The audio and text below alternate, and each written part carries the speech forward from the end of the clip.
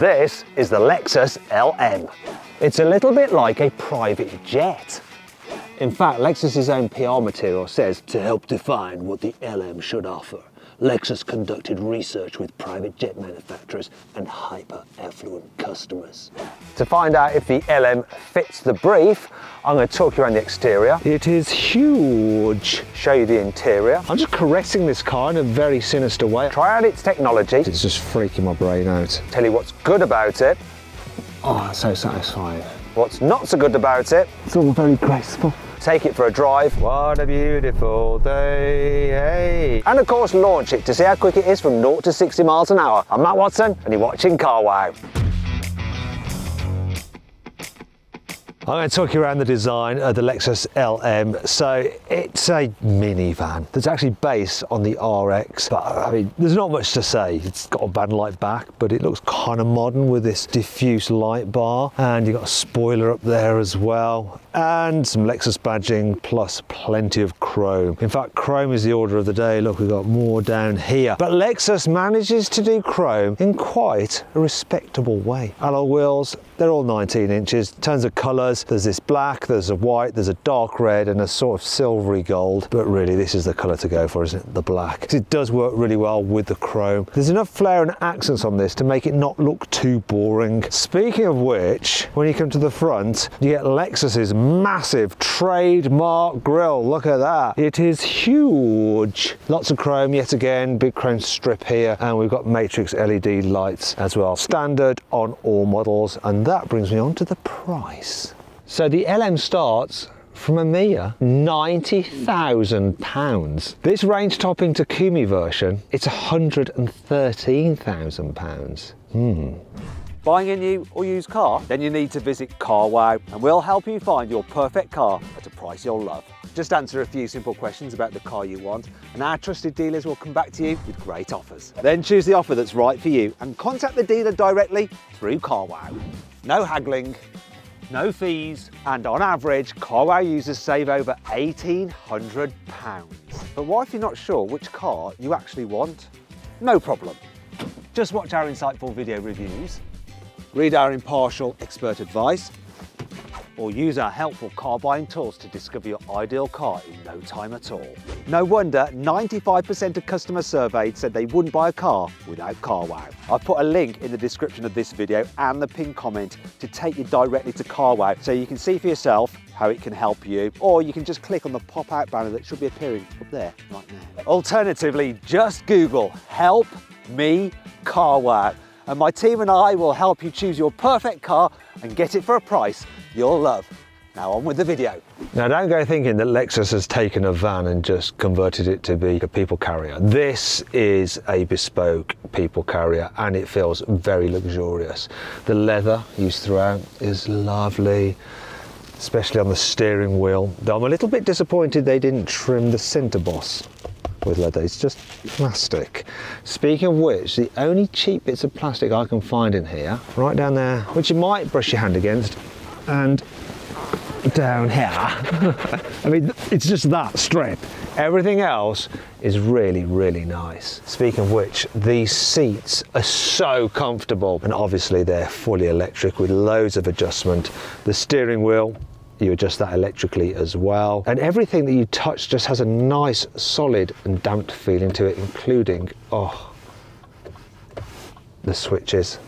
I love it. I also love this. While you've got this big infotainment screen and the climate is controlled through it using you know sliders such as that for the fan speed, the temperature is done very quickly just by swiveling that. And yet again, that just feels so good and expensive and my finger brings you to this, the Mark Levinson stereo, which sounds absolutely amazing. As standard, it's got 21 speakers. This Takumi version actually has 23 speakers, regardless of which one you go for. Amazing sound quality. Like this wood paneling down here as well. Oh, I'm just caressing this car in a very sinister way, aren't I? And I'm going to continue doing it with this rather soft and lovely headliner and the biggest sunshades ever with just a modest vanity mirror. Speaking of mirrors, as standard you get this, so you got your normal rear view mirror, but if I do that, you get a camera feed out the back. Now the reason why it's got that will be apparent a little bit later on. Now let's check out the storage on this vehicle. Glove box, it's not the biggest, is it really? But, oh, it's nicely damped, lined with felt. I like this though, you've got a big bin under the centre armrest. Is that hard for you to see? Don't worry. Can open it this way as well. Have a look in there, nice and deep. You've got HDMI input, more on that in a moment, and there's your USB-C plus old-fashioned 12 volt. Underneath here, we have more USB-C and that is the USB-C to plug your phone in for Apple CarPlay and Android Auto and it's full screen for both of those apps which is really good. Now if you want to you can use the standard fit sat nav but it's just not as slick as Android Auto or Apple CarPlay. It's quite easy to jump through the different menus though using these side buttons here but I'm definitely more of a fan of using either Apple or Android. You've got a digital driver's display here. It has enough information on it and you can scroll through different screens and it will change colour and the design of the dials depending on what driving mode you're in. Okay, that's enough of those. Ah, I forgot to show you this, door bins.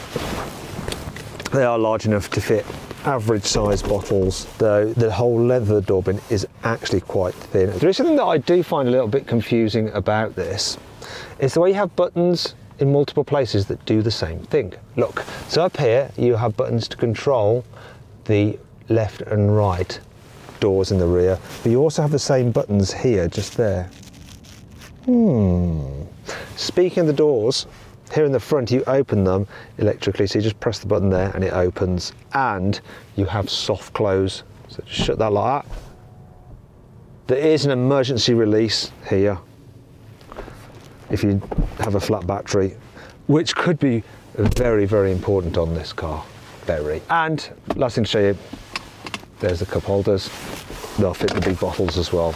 And I like the way they're just surrounded in this satin metallic effecty trim. Just kind of sends off the rest of the cabin. Look at it with the goldy highlights here. There's something just calming about this vehicle. I quite like it. It gets even better in the back though. You can get the LM as either a seven-seater or this four-seater which just has these two individual chairs in the back but oh my gosh this configuration is super luxurious and the one that I would want. Let's start off by looking at that. It's a huge screen and I'm actually casting my phone to it though you can actually connect via HDMI. What I'm going to do is control it via this little mobile device here which I can eject if I want to but I don't want to right now and I can change it to a smaller screen there we go, little screen. I can go full size, so it's a bit stretched and looks weird, or I can go for twin so that either rear passenger can watch their own movie or whatever on it via their own headset. I'm not going to leave it on that because it's just freaking my brain out. Mm. And obviously you've got these huge speakers here. There's a speaker there and there's another one up there so you can get the full cinematic experience back here. And if you want to, you can really relax. I'm gonna just raise up this lower part of the seat. Oh. And then you got to see this.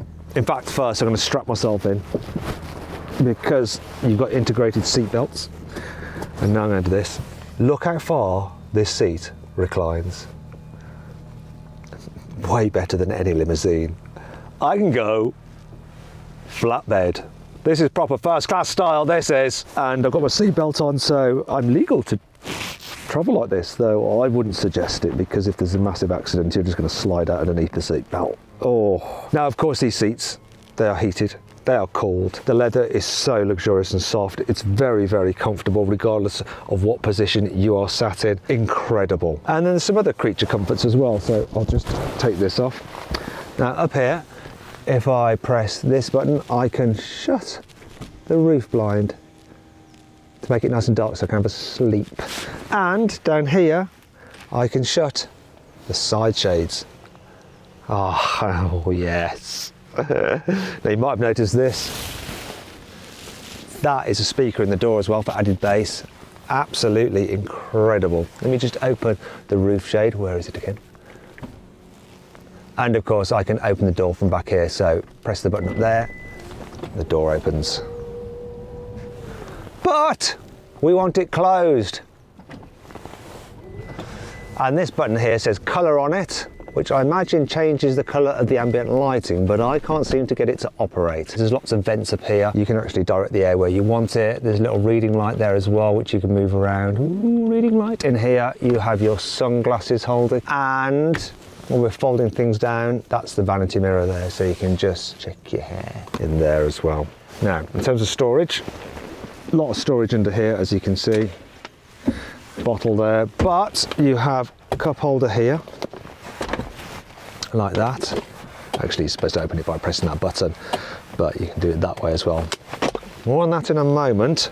Underneath here, if you do absolutely have to do some work, you've got a little work table there, or maybe it's a picnic tray. Feels very expensive, very posh. And then under here, look, I've got wireless charging for my mobile phone there, plus there are USB connectors as well if I want to use that instead. Then, underneath here, you've got some storage, probably keep your shoes in there, and then finally, this here. Ooh, we have a fridge. And Lexus says in no way, shape or form should you ever use this fridge for storing pork chops or fish. Finally, there's this little area there which you can put stuff in if you want to, and another tray for your jewellery. It's all very luxurious. I'm thinking of just moving in here. It's way nicer than my house. The way you open the LM's boot isn't quite what you think. So there is a release here, but it just unlocks the vehicle. Doesn't open the tailgate. Instead, you use these buttons which are on either side. Look there.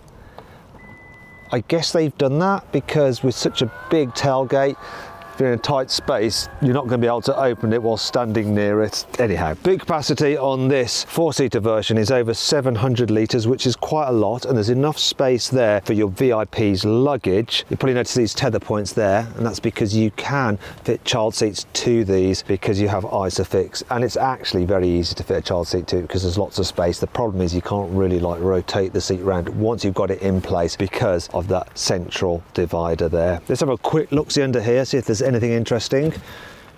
Mm, yeah, just tools and stuff. And I imagine under here, what's, oh, look, a spare wheel. That's novel. This is also novel. Look, a three pin socket, 1500 watt and 220 volts. Little tie down points there.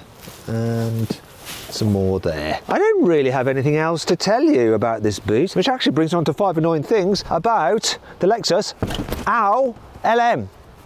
Why did I do that?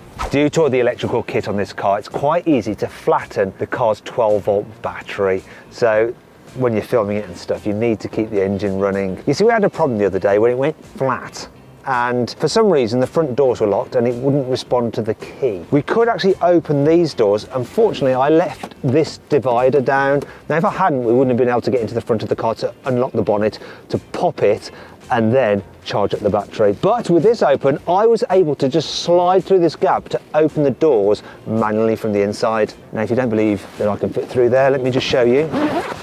If I'd been even fatter than I am already, then I wouldn't have been able to get through, but it's not easy. It's a bit like going caving. Look. Uh, uh, oh, I'm being born again. Uh,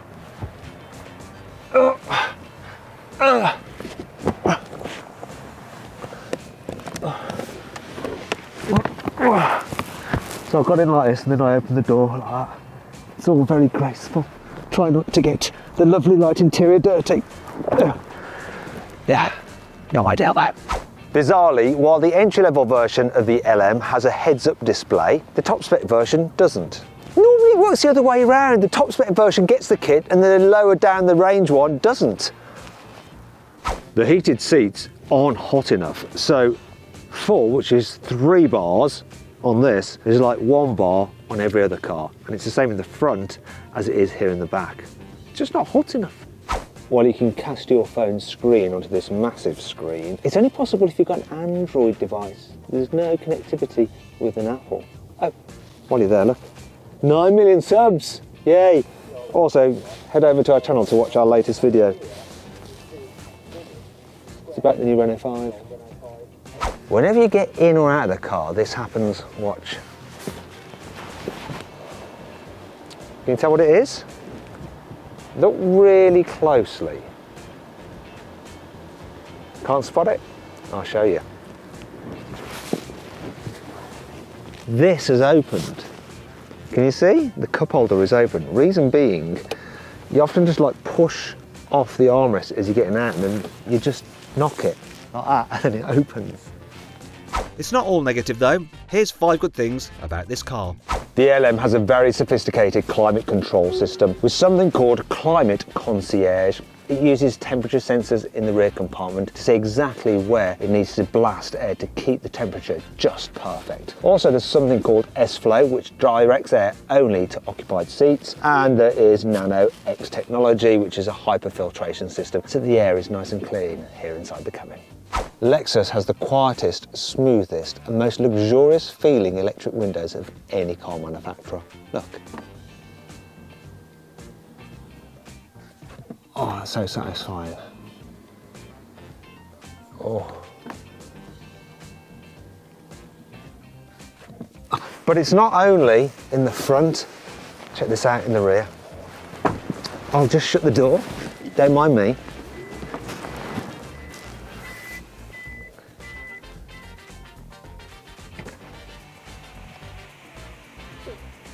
Oh. I've never seen such a big window open before in a van-based people carrier. And I forgive it for not going all the way down just for how wide it is. Lovely.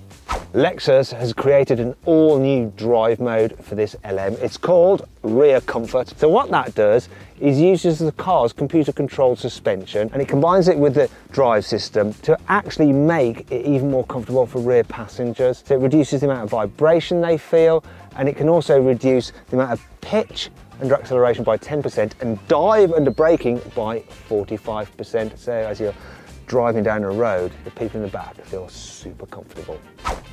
Lexus has mounted the camera for the rear view mirror just here the bottom of the windscreen and it's just inside the arc of the rear window wiper. So let's say it gets all kind of like dirty like that, then you wash the rear window and you'll see it, clean it there.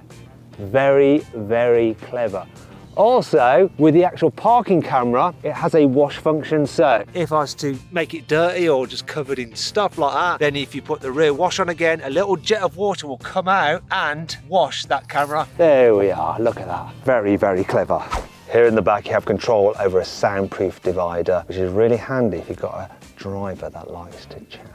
Oh, hey, aren't you Mat Watson from Carwow? Yeah, I really used to like you in your Carbuyer video days with Rebecca Jackson. It was really funny when she put a banana in the glove box of a Volkswagen Golf. Also, you have the facility to make it opaque so you can't see them anymore. That's better. Peace and quiet. In the UK, the Lexus LM is available with just one engine. So this, a 2.5 litre four cylinder mated to a CVT automatic gearbox and an electric motor driving the front wheels. But you can pay extra to upgrade to the four wheel drive version which has another electric motor on the rear axle so you then have four wheel drive. However, What's a bit odd is that whether you go for the front wheel drive with one motor or the four wheel drive with two motors, both versions have 250 horsepower, so that rear motor doesn't add any more power.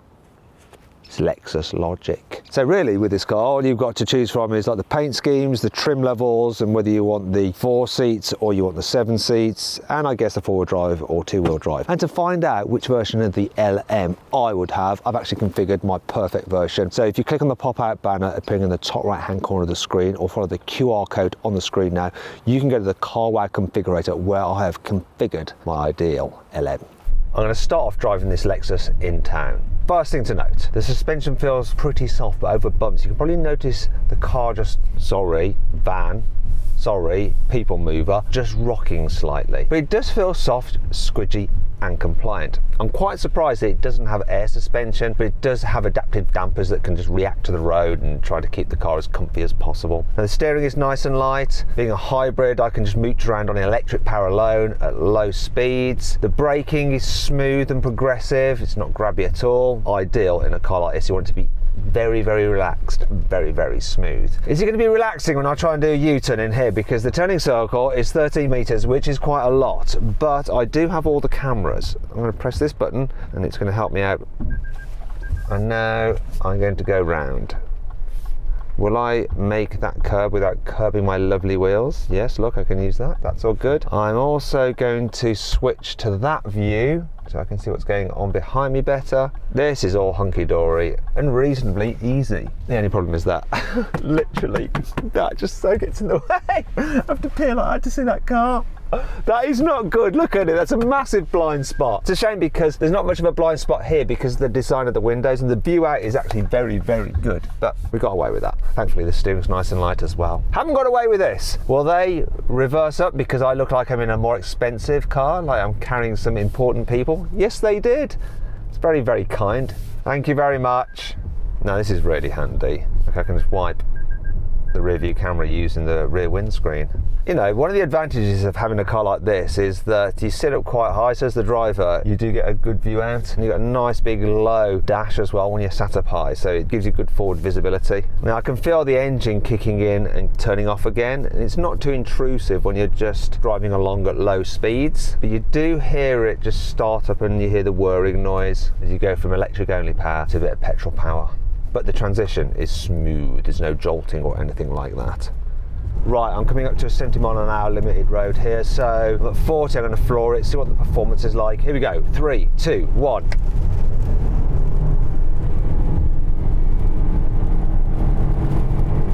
That noise is the engine just going because this car has a CVT automatic gearbox, which means that when you floor the throttle, it just holds the engine revs pretty constant, and then you get this droning noise. Again for a slow speed, and you'll see exactly what I mean.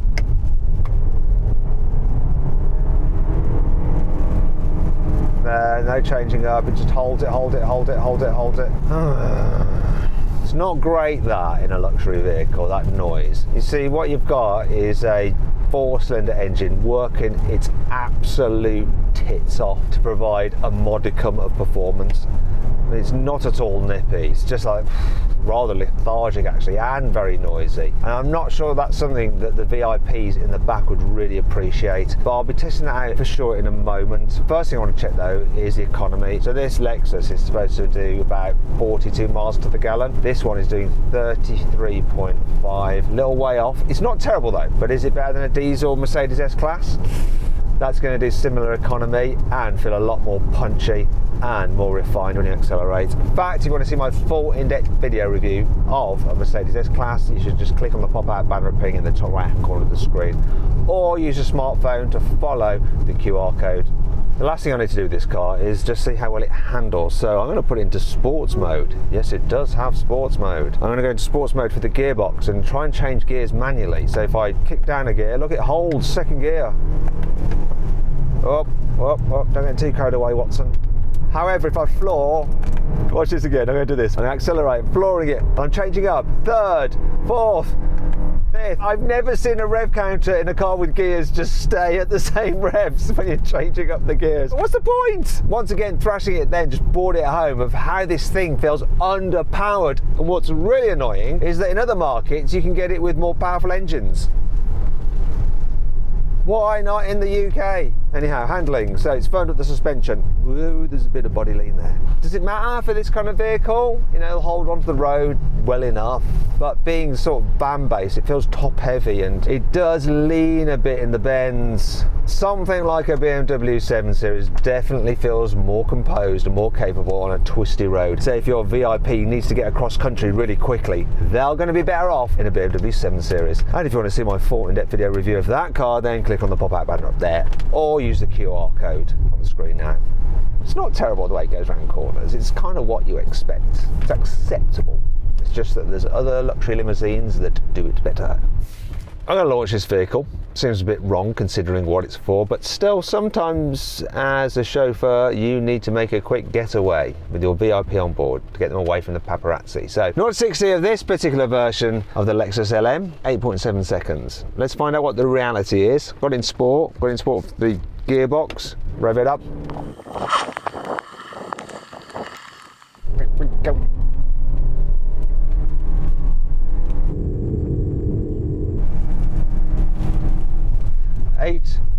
8.76 seconds. Bang on the money, really. Noisy though, eh? Not nice noise, uh, kind of, stop it, I don't like it, noise.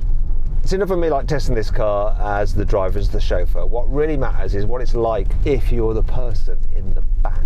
Okay, here in the back, it's reasonably comfortable. You don't seem to get that kind of wafty feeling that you get in cars with air suspension. So a Lexus LS does seem to glide a little bit more at the road than this does. There's always a little bit of like shimmy and shake that you just feel through your bottom. Now I've got Lewis driving for me. Lewis, can you do something for me, please, mate? Could you like shake the wheel when I tell you to? Okay because I'm just going to try something I've got a fairly full cup of coffee down here shake the wheel oh yeah okay right yeah it's uh, shaking the coffee quite a bit now I want you to accelerate quite hard Oh, don't. Oh, is it going to spill out? Okay, and brake not too hard, but like you're stopping for something. That's it. Yeah, yeah. Oh, it's almost coming out. Okay. Now, what I want you to do is put the car into its special rear comfort mode. I want to find out the effect of that. Over the bumps, it doesn't really feel that much different, but can you do the thing with the wheel again when you shake the wheel? That doesn't seem to move the car from side to side so much. Can you accelerate and then brake again? I think you're braking a bit harder then, but it doesn't seem to have the initial kind of shock when you suddenly make a maneuver or something happens. I don't know if it's that rear comfort mode or it's just placebo, but it somehow just feels a little bit better. Turn it off again, go into normal mode, shake the wheel again. Oh, yeah, now put it into rear comfort mode. Do it again. Yeah, it's definitely more comfortable in rear comfort mode. Whew, quite like it. It's really chilled. I do want to check one thing though. Right, I've got Lewis to slow right down. I'm going to get him to accelerate now to see how noisy it is here in the back.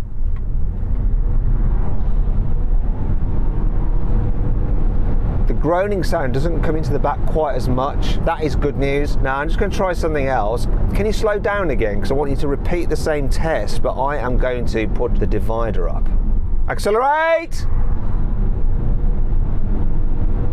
Now you don't notice it. The only thing you notice is quite a bit of noise reverberating around this large space. You see in something like a slightly smaller saloon car, you don't have such a big area for the noise to echo around, but it's not bad. Just a bit of tyre noise. I'm gonna try one more thing.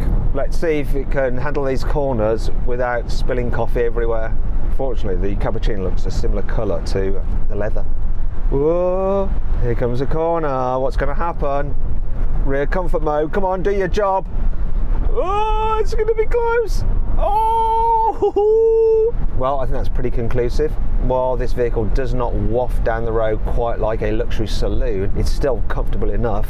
And when you go around some corners, you won't end up spilling your coffee all over yourself and then end up at your meeting looking like you've had a slightly nasty accident.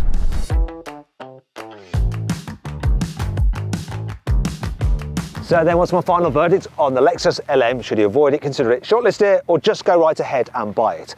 Well, if you're going to be driving it, I'd shortlist it because the suspension isn't quite as wafty and it's not quite as quiet as something like a BMW 7 Series. But if you're only ever going to be chauffeured, do you know what? I'd take that trade-off in quietness and outright comfort just for the amount of space you have in those back seats, which are so, so comfortable to sit in. I would rather have that to be chauffeured in than a BMW 7 Series or a Mercedes S-Class. So in that respect, buy it. Hey, if you enjoyed the video, please give it a like, it really helps us out, and let me know what you think of my verdict on this car in the comments below. If you click on the video windows, you can watch some more videos, and if you click on the CarWow logo, you can go to CarWow to see how much money you can save on your next car. Thanks for watching.